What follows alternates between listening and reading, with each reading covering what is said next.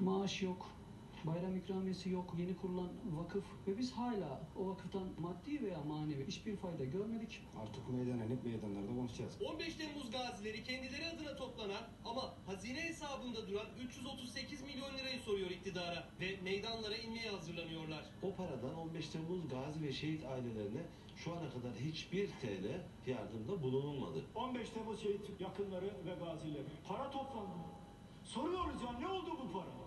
02.01.2019 tarihi itibariyle tek hazine kurumları hesabına aktarılmıştır. CHP gündemde tutuyor 15 Temmuz şehit yakınları ve gaziler için toplanan parayı. Cumhurbaşkanı Yardımcısı Fuat Oktay hazine hesabında dedi. Bağışın vakıf aracılığıyla kullanılacağını söyledi.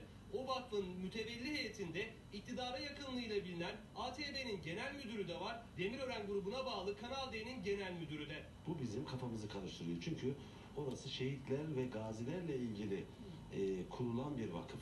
Biz aslında vakfın kendisine de karşıyız. Bu paraların direkt mükelleflere, gazi ve şehit ailelerine nakdi olarak elden teslim edilmesi gerekiyor hesaplarına. Biz bunu istiyoruz. 15 Temmuz akşamı Genelkurmay önünde helikopter arabasına yaralandım.